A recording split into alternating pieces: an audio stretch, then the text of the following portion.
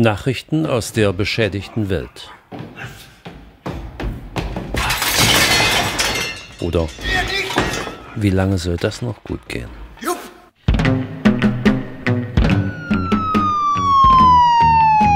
Blockupy Frankfurt. Forscher kritisieren Polizeigewalt. Zahlreiche Wissenschaftler und Experten haben sich in einem offenen Brief an die Landesregierung in Hessen besorgt über die polizeiliche Gewalt gegen Demonstranten in Frankfurt gezeigt. Sie kritisierten das harte Vorgehen mit vielen Verletzten und warnten davor, das Demonstrationsrecht auszuhebeln. Publikative.org dokumentiert das Schreiben. Wir sind äußerst beunruhigt über das Vorgehen der Polizei gegen die Blockupy-Demonstration am 1. Juni 2013 in Frankfurt am Main. Als Protestforscher haben wir die Entstehung der aktuellen Krisenproteste intensiv verfolgt und sind vertraut mit Erscheinungsformen und Dynamiken sozialer Proteste. Derzeit erleben wir große gesellschaftliche Umbrüche, die als Währungs-, Wirtschafts- oder Finanzkrise beschrieben werden. Gerade in solchen zentralen Fragen wie der Sozial-, der Geld- und der Wirtschaftspolitik bedarf es eines breiten gesellschaftlichen Diskurses.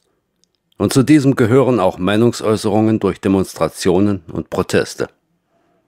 Immer häufiger ist aber zu beobachten, dass von Seiten der Staatsmacht solche demokratischen Prozesse unterbunden oder stark behindert werden. Bereits im Jahr 2012 wurden die Blockupy-Proteste vor allem juristisch behindert wenngleich kaum eine dieser Maßnahmen nachträglich vor Gericht Bestand hatte. In diesem Jahr hat die Polizei die genehmigte Demonstration durch die Einkesselung von über 900 Menschen, die bis zu neun Stunden ohne jede Versorgung festgehalten wurden, willkürlich unterbunden.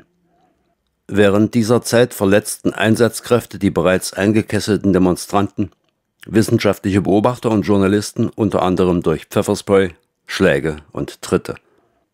In einer ersten Zwischenbilanz berichten Sanitäter von bis zu 300 Verletzten.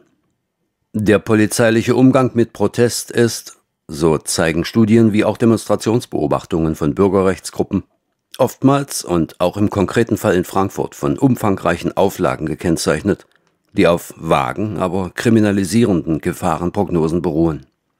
Daraus folgen massive Vorkontrollen, teils mit Festsetzung von anfahrenden Bussen zunehmende Videoüberwachung, einschüchterndes Material- und Waffenaufgebot sowie eine enge einschließende Begleitung von Aufzügen. Solche und andere polizeiliche Maßnahmen wirken abschreckend und schränken so die Demonstrationsfreiheit ein. Die teilweise dramatischen Szenen aus Frankfurt zeigen eine nicht hinnehmbare Eskalation. Aufgabe der Polizei und der BRD sollte es eigentlich sein, Versammlungen zu schützen und nicht diese zu behindern oder gar zu bekämpfen. Wir sehen die aktuellen Entwicklungen eines zunehmend repressiven und gewalttätigen Umgangs mit legitimen Protesten mit großer Sorge und schließen uns den Forderungen einer umfänglichen Untersuchung und Aufarbeitung der polizeilichen Übergriffe auf Demonstranten in Frankfurt an. Jenseits des konkreten Falles in Frankfurt fordern wir, die individuelle Kennzeichnung von Polizeibeamten, um Gesetzesübertretungen verfolgen zu können. Die Schaffung polizeiunabhängiger Kontroll- und Beschwerdeinstanzen zur Untersuchung solcher Vorfälle. Eine unabhängige Forschung zu sozialen Bewegungen, Protest und staatlichem Umgang mit diesen Phänomenen. Es gilt, das Grundrecht der Versammlungsfreiheit gegen Entwicklungen wie in Frankfurt zu schützen. Gesellschaftliche Debatten dürfen nicht durch polizeiliche Maßnahmen behindert werden. Nadir.org Türkei-Ticker derzeit ohne Updates. Aufgrund zahlreicher und weitreichender Veränderungen der Protestformen in der Türkei gestaltet es sich zurzeit schwierig, den Ticker gesipark.nadir.org in bisheriger Form anzubieten. Wir überarbeiten gerade unser Konzept, um uns auf die neue Situation einzustellen. Es ist still geworden in der Türkei, was aber nicht heißt, dass der Widerstand gebrochen wurde. Im ganzen Land kommt es zu Aktionen, die als Duran Adam, stehender Mann, bekannt wurden. Menschen verdeutlichen durch stummes Stehen ihren Widerstand und führen das derzeitige System als das vor, was es ist. Bizarr. In der letzten Nacht wurden Menschen festgenommen und als Terroristen gebrandmarkt, weil sie irgendwo herumstanden und nichts, absolut nichts taten, als reglos auf öffentlichen Plätzen zu stehen. Auch entstehen gerade in vielen Städten der Türkei öffentliche Pläne, die dezentralisiert ausgelegt sind. In den größeren Städten hat fast jedes Stadtviertel ein eigenes offenes Plenum. Die Menschen üben sich in basisdemokratischen Entscheidungsprozessen. Innerhalb dieser Pläne werden unter anderem Formen des passiven Widerstands kommuniziert. So gibt es Boykottaufrufe und Aktionen gegen jene Firmen, die von den Gentrifizierungsprozessen profitieren. Es wird beispielsweise dazu aufgerufen, nicht mehr in die großen Einkaufszentren zu gehen und stattdessen in den kleinen Läden um die Ecke einzukaufen. Ein erheblicher Anteil von Menschen scheint dem bereits zu folgen. Die Bewegung setzt jetzt weniger auf kurzfristige Erfolge als vielmehr auf Beharrlichkeit.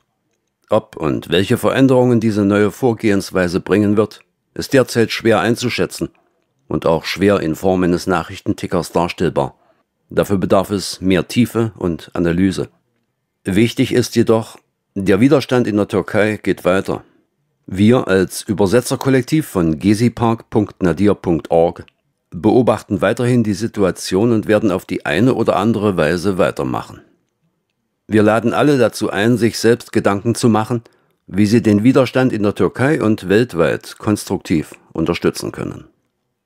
Wir werden dazu bald unser eigenes Know-how publizieren, das wir uns in den letzten zwei Wochen beim kurzfristigen Übersetzen von internationalen Medien angeeignet haben. Wir begrüßen es, wenn unsere Aktionsform des Translactivism das Zugänglichmachen von Informationen über Sprachbarrieren hinweg, aufgegriffen, abgewandelt, verbessert wird. Wir danken für all die Solidarität und das Vertrauen, das uns geschenkt wurde von Menschen jeglicher Couleur, jeglicher politischer Strömung, jeglicher Altersgruppe und ganz speziell den Menschen in der Türkei, die uns auch jetzt noch mit ihrer Kreativität, mit ihrer Solidarität und ihrer Beharrlichkeit das vielleicht Wichtigste gezeigt haben. Wir sind eine Welt